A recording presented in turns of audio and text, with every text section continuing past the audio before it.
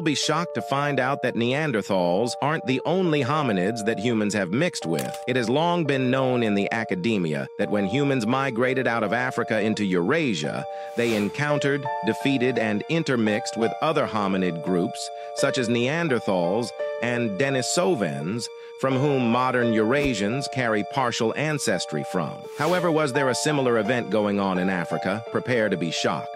A 2020 study from UCLA encountered something interesting when analyzing samples of West Africans, such as Yoruba of Nigeria and Mende of Sierra Leone. They found genes which were not matching Homo sapien, Neanderthal, nor Denisovan markers, meaning that some genes were of a completely different hominid population. Because there are no fossil records of this group, this hominid population was called ghost DNA and was found to be anywhere between 2 and 19 percent in those West Africans that were analyzed. This admixture was not found in Southern or Eastern Africans.